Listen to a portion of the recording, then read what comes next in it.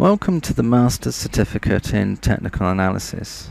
My name is Stu Wisson and we've reached Module 7 and I trust that you're all learning a lot from the previous modules about trends and averages but now we're looking at something a little bit different. In Module 7 Part 1 we're going to be looking at oscillators and also in this module we'll look at sentiment indicators. But oscillators are a little bit different from what we've looked at before because what we've looked at before, like moving averages, where they've pl plotted on the price charts, and in this part one of module 7 we'll look at oscillators which are usually either plotted beneath the price chart or you'll just have to refer up vertically to where it is on the chart and what it's referencing to. Oscillators, as the name suggests, go up and down they oscillate between extremes and they do indicate overbought and oversold conditions. These are terms we use quite frequently. It is a rational enthusiasm, if you like. When it's overbought, the people have gone on and on buying until the stock is pushed up by demand to somewhere that's not sustainable. And oversold is the opposite. When everybody is rushing to get out of a share, because they see the prices going down. So there's a tendency to go too far and let it go to any price and then we'll say that the shares are oversold and they're likely to turn around and start becoming a little more valuable. So that's what overbought and oversold mean. Basically it's an extreme irrational enthusiasm and basically it means it's gone too far. Oscillators also can be used to indicate a loss of momentum. Before you see it, before you see it in the price, there's a certain momentum to a trend, to an uptrend or to a downtrend.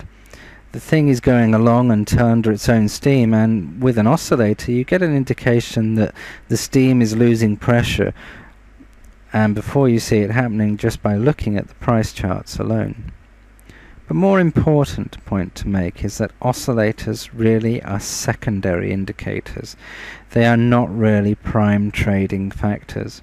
They have to be supported by looking at other things on the chart. Basically, trend analysis is where you start. You don't start by looking at an oscillation and saying this is over, that is overbought or oversold, and I'm going to trade.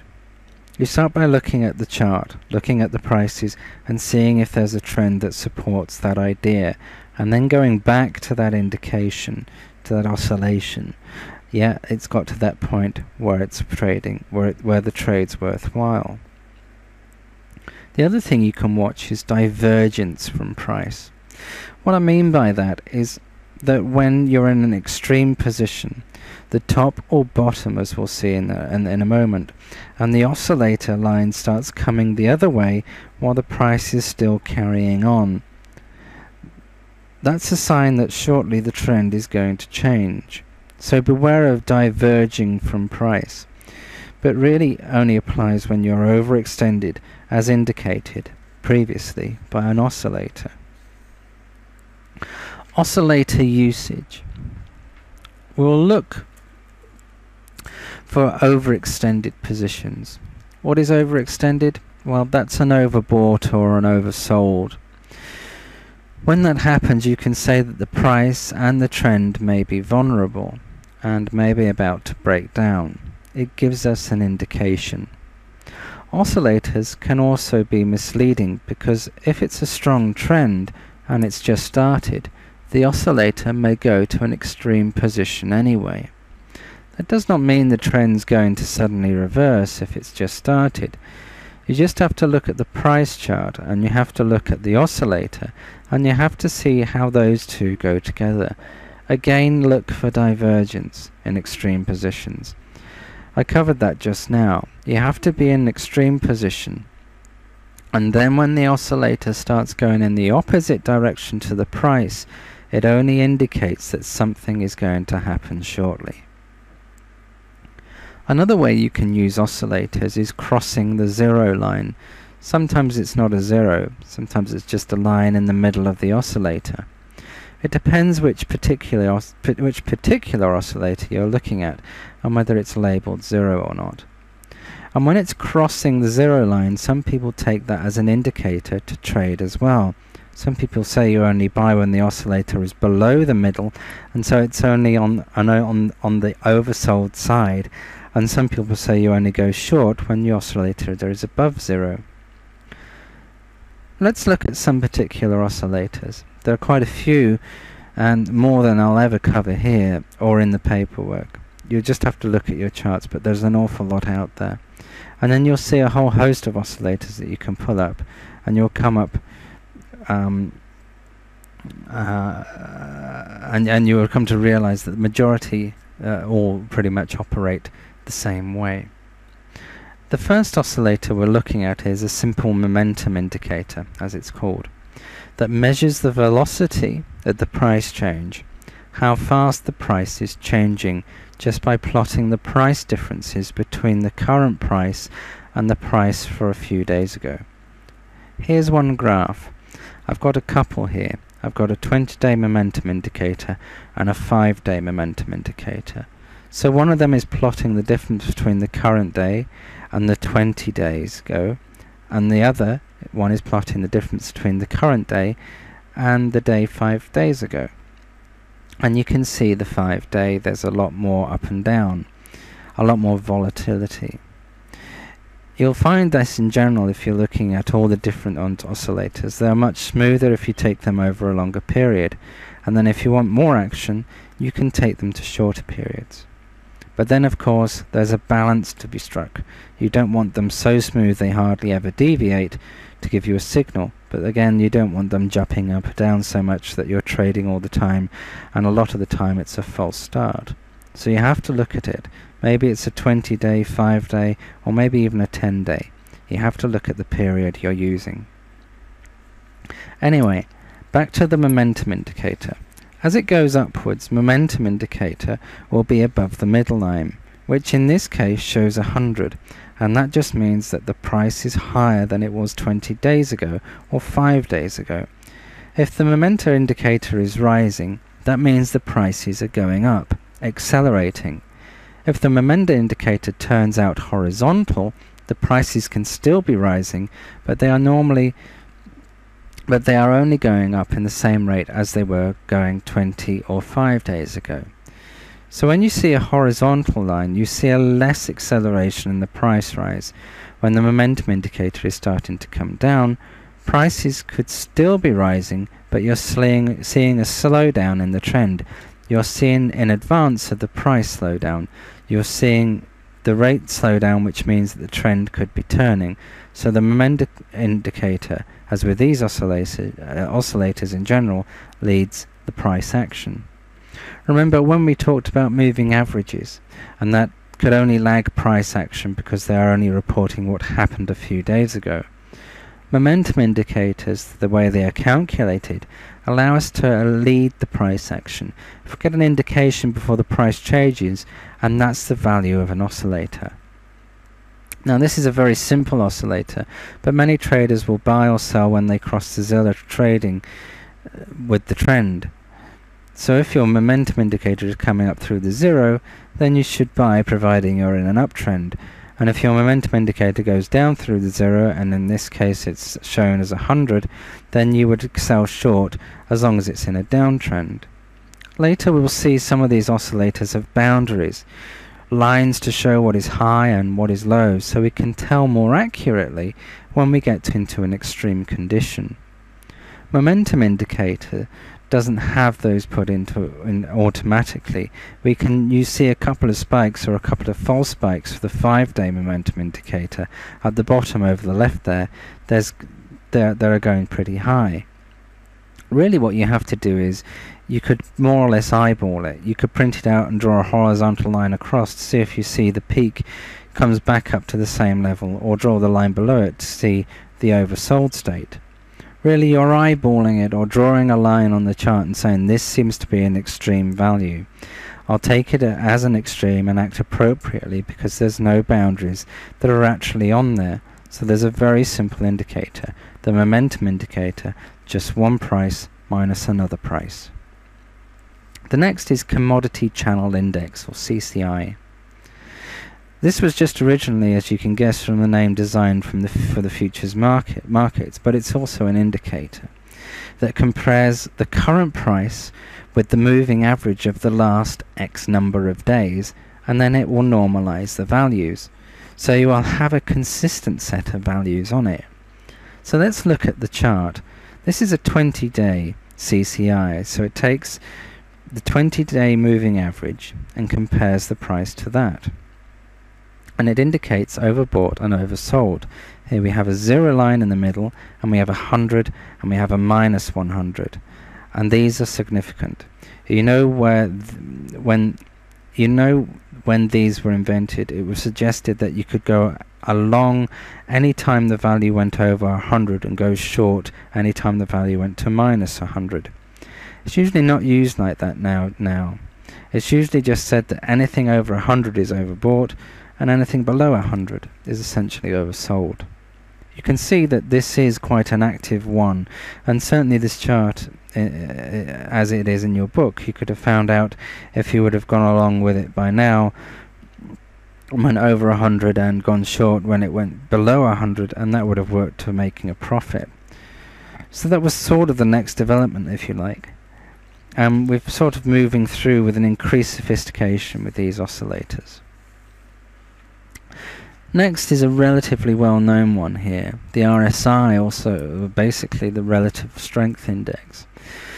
That one compares the up closes in a day that's uh, an up day when with the down closes in a day that's a down day. And this again is a sort of smoothing device. The momentum indicators, remember we took away the price from 20 days ago and plotted it. Now, if there's a sudden spike 20 days ago, that would immediately make the chart look funny today by kicking it out. So this is an attempt uh, that from so, this is an attempt from making that happen by look at the closes from the past number of days and smoothing it out on that basis. Now, if we pull up the chart here, we can see that this is a 14-day relatively relatively strength R index (RSI). That's quite a common one to use. It has lines for extremities, so anything over 70 is considered extreme and overbought, and anything below 30 is considered extreme and oversold. Now the thing you should watch, of course, as I've said, is if you have a strong trend. It could produce spikes in the trend. If you don't want to assume that it is overbought, it's going to reverse and become a downtrend straight away. It can bob along time for a time and the high overextended value. Another point, if you're in a strong bull market, your extreme line could be more like 80%, so you're looking for it to go above 80% to be overbought in a bull market, and in a bear market, possibly below 20% would be the real extreme indicator. So the RSI is a much used indicator. We move on now to the stochastic uh, oscillator. It compares the closing price with the range of the prices that have happened. So the idea on this one is that if you're in an uptrend and a good uptrend, the closing price is not normally towards the top of the daily range. And if you're in a downtrend and it's a good downtrend, then you'll see mostly that the closing price for the day is towards the bottom of the range of the day. So the stochastic oscillator looks at where the closing prices are in relation to the whole range of prices and generates it from that. Again, this is a very useful oscillator. The one I've shown here is a 14 day and a 3 day slow stochastic oscillator. Now I have to explain there's a fast stochastic oscillator which is calculated first and that can be on 14 days for the main line and the main line here is the solid line so look at that first. It's a 14 day calculation of the stochastic. Now the second dashed line which is called the percent D line is a signal line is a three-day moving average of the first line. So that smooths it out and provides a signal line. Now that's a fast stochastic oscillator. What I've got here, as I've said in the slow one, because what happens there is that that's the signal line, the three-day moving average is called the slow stochastic indicator line, the solid line, and then you take a three-day moving average again to smooth it out and provide the signal line. Now I think on this particular chart, I think you can see that it says 14 on the chart and in brackets 3. So you can choose how many days you smooth that out by to make it a slow stochastic on this one. But usually it's 3 days. You'll usually do 14 divided by 3, day 14 by 3, sorry, uh, 1 and then 3 day 1 become the slow stochastic line and it smooths out that again by 3 days to complete the signal line. I hope you follow that. It does sound quite complex. I can certainly give you more information if you would like it. But basically the computers do this for you, so you don't really need to know. But you need to know what the 14 days, the main selection you have on those rules, and then the 3 day smoothing is quite the common number to use. Now the stochastic has the signal line, which is not much use. Again, don't go trading against the trend. In general terms, you shouldn't trade against the trend. But what you do is look for an extreme condition and you look for the dotted line, the signal line, to be running from the, that condition and crossing over the solid line. And when it crosses that signal, to do a trade.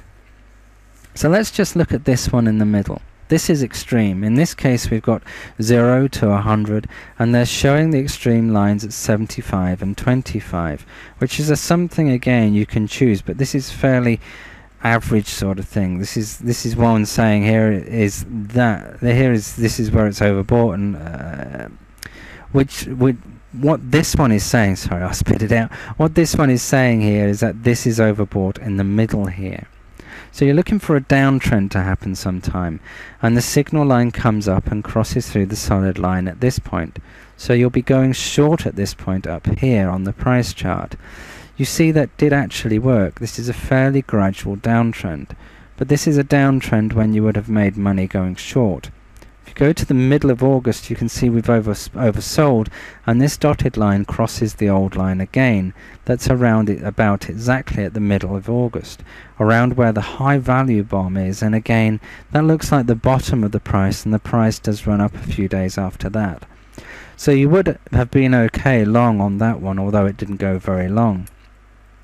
That's the way you use it. You use it when the dotted line crosses your other line and you're in the extreme area. That's the basic signal provided you've checked out your basic trend for the sort of signal you're looking for.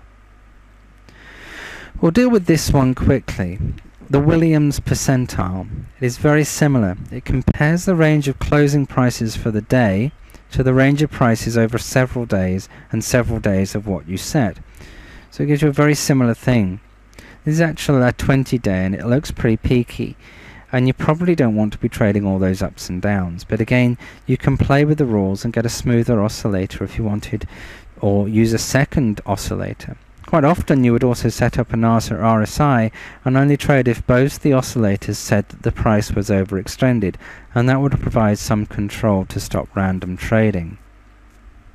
And the final type we would like to look at right now is the moving average convergence and divergence indicator, which is shorted and most commonly referred to as the MACD. And that goes back to basically the crossover method that we looked at in the moving average.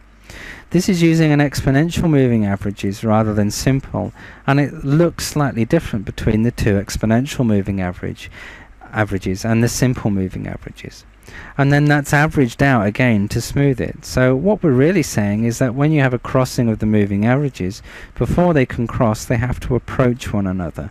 And what we're doing here is anticipating the crossing by anticipating the converging.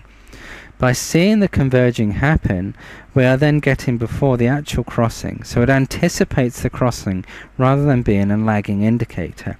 Again, we have the signal line here. This is the 61326 MACD with a 9 day signal line. That's a 9 day smoothing out of it. So that's the same as a 13 day exponential moving average and a 26 day moving average, exponential moving average to make up this line. And we can use it in the same sort of way. We look for the crossing.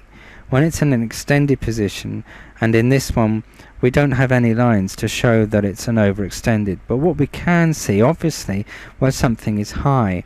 See here in October, that's obviously a high, and the signal line crosses, providing the chart is looking right. That's short, and the short would have made that. Well, short would have made that about. So that's the way that one is used. These little green bars, they're optional to add on, but they they actually just show the difference between the two lines. So you can see when the signal line is approaching the MACD line, you get smaller and smaller. Obviously, where the green bars are zero, that's actual that's the actual crossing. But you can get an indicator of where the green line is approaching by the bars getting smaller. Obviously, you can see in December the lines are actually approaching each other because the bars are, bars are getting smaller, so you'll get an indication before the actual crossing. So again, it gives you a little bit more information and prepares you for your trading. So in summary, the first thing I would say is that oscillate that is that the oscillator is a secondary indicator you should do your basic trend analysis and not rely on an oscillator to enter a trade without looking at anything else. The oscillator can't by itself justify entering a trade, particularly, particularly not if it's suggesting that you go counter trend. This is because oscillators, they're just calculated to help you understand the trend. They are not by themselves the law. So it's a secondary indication and you just have to remember the trend. Now just going over the oscillation types, look for overextended conditions. That's where the oscillator is useful.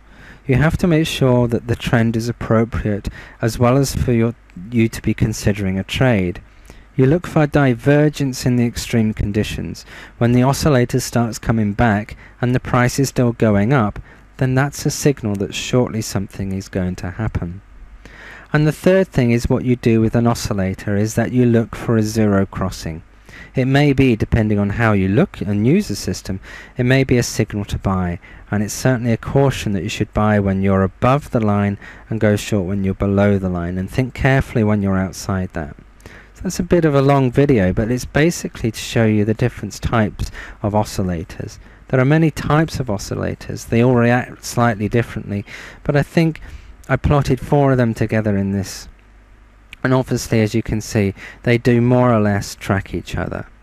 Obviously, people keep reinventing oscillators, and they will always do that.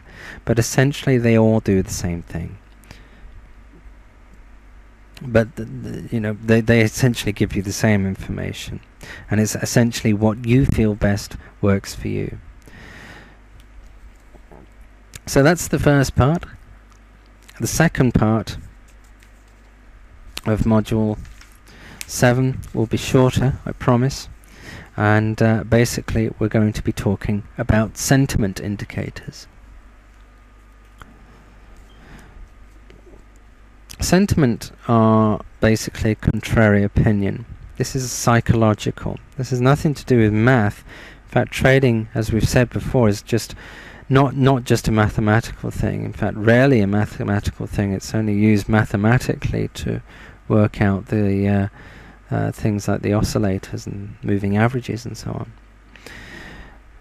So if it was, and believe me, this is where a lot of people actually get it wrong. If it was just a mathematical thing, we would just use computers, and every trader and uh, that decided to trade using these things would be very rich. And this is where essentially a lot of these black box systems get very wrong because they can't measure sentiment. So there's a basically in trading there's an awful lot of psychology in it. There's an art as well, and there's a, there is a science too. And contrary to popular opinion, there's a, an expression of that art and that's getting away from figures because it states to the contrary. It's not what you would expect. In fact, you could say that the contrary opinion is summed up when the majority of people agree they're probably wrong. It's probably something way back, I think it was in 1954, Humphrey Neill wrote The Art of Contrary Thinking. And someone called James